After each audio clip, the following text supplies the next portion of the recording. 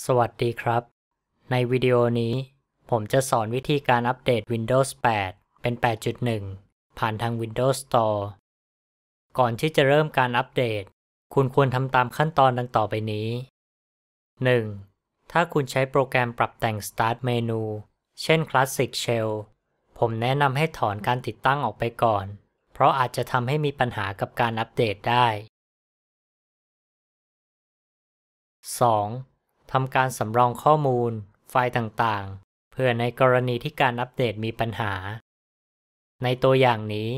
ผมจะใช้ไฟล์ history สำรองข้อมูลไปยัง drive D ให้เปิด Charms Bar เลือก Settings และเลือก Control Panel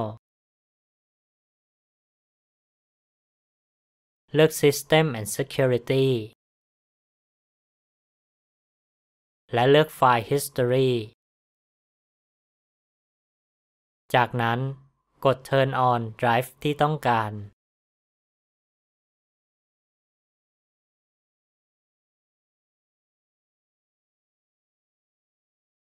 3. ดาวน์โหลดและติดตั้งอัปเดตจาก Windows Update ให้กลับไปที่หน้า System and Security เลือก Windows Update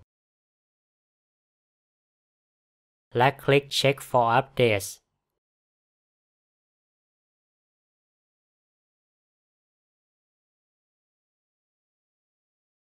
จากนั้นคลิกเลือก Important Updates are available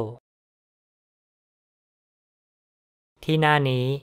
คุณจะเห็นรายการอัปเดตที่ต้องดาวน์โหลดและติดตั้ง ให้คลิก Install เพื่อเริ่ม ในตัวอย่างนี้ ใช้เวลาประมาณ 50 นาที ในการดาวน์โหลดและติดตั้งอัปเดต ในบางครั้งคุณอาจจะต้องรีบูตเครื่อง ระหว่างการติดตั้งอัปเดตเหล่านี้ และ 4. ถ้าคุณใช้โปรแกรมแอนตี้ไวรัสอื่น ๆ นอกจาก Windows Defender คุณควรปิดการทำงานชั่วคราว เพราะโปรแกรมอาจจะรบกวนการอัปเดตได้ ในตัวอย่างนี้ผมใช้ Avast เวอร์ชันฟรี การปิดการทำงาน ก็ให้คลิกขวาที่ไอคอน เลือก Avast Shield Control และเลือก Disable Permanently กด Yes ทีนี้เรามาเริ่มการอัปเดตเป็น Windows 8.1 กัน ให้เปิด Windows Store คลิก Update to Windows 8.1 for free และคลิกดาวน์โหลดเพื่อเริ่มการอัปเดต Windows จะเริ่มการดาวน์โหลดและติดตั้ง ในระหว่างนี้ คุณสามารถใช้งานเครื่องได้ตามปกติ ในตัวอย่างนี้ ใช้เวลาในการดาวน์โหลดและติดตั้ง Windows ในช่วงแรก ประมาณ 1 ชั่วโมง จากนั้น Windows จะแจ้งว่าต้องการรีบูตเครื่อง คุณมีเวลา 15 นาทีในการเซฟงานและปิดโปรแกรมต่างๆ ที่กำลังใช้งานอยู่ หรือถ้าพร้อมที่จะรีบูตเครื่องแล้ว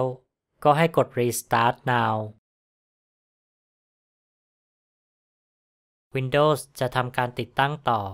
และเริ่มการตั้งค่าต่างๆ ซึ่งใช้เวลาประมาณ 20 นาที ต่อมา คุณสามารถกำหนดค่าบางอย่างของ Windows ได้ ในตัวอย่างนี้ ผมให้เป็นค่าเริ่มต้น คือเลือก Use Express Settings จากนั้น Windows จะให้คุณ Sign in เข้าระบบ ให้ใส่ Password และกด Next Windows จะกำหนดค่าของระบบเป็นครั้งสุดท้าย และติดตั้งแอปต่างๆ ซึ่งใช้เวลาประมาณ 2-3 นาที เมื่อ Windows บูตเข้ามาหน้าเดสก์ท็อปก็เป็นอันเสร็จการอัปเดตระบบเป็น Windows 8.1 คุณสามารถคลิกไอคอน Windows ที่มุมล่างซ้าย เพื่อเปิด Start เมนู และโปรแกรมต่างๆ บนเครื่องก็จะอยู่ที่หน้านี้ ขั้นตอนต่อมา ผมต้องเปิดการทำงานของแอนตี้ไวรัสที่ปิดไปก่อนหน้านี้ โดยคลิกขวาที่ไอคอนของโปรแกรม เลือก Avast Shield Control และเลือก Enable All Shields เท่านี้โปรแกรมแอนตี้ไวรัสก็กลับมาทำงานตามปกติแล้ว เมื่อคุณทดลองใช้โปรแกรม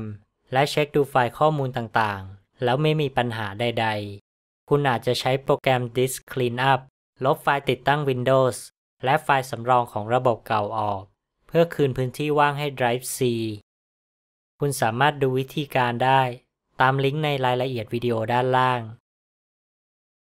เมื่อลบเสร็จ ขั้นตอนต่อไปอาจจะเป็นการเช็ค Windows Update และสำรองข้อมูลระบบ Windows ใหม่นี้ ผมขอจบวิดีโอนี้ไว้เพียงเท่านี้นะครับ ถ้าชอบก็ช่วย Subscribe Channel ให้ด้วยนะครับ ถ้ามีคำถาม หรือข้อเสนอแนะอะไร สามารถโพสต์ไว้ได้ที่ด้านล่างครับ ขอบคุณที่รับชม สวัสดีครับ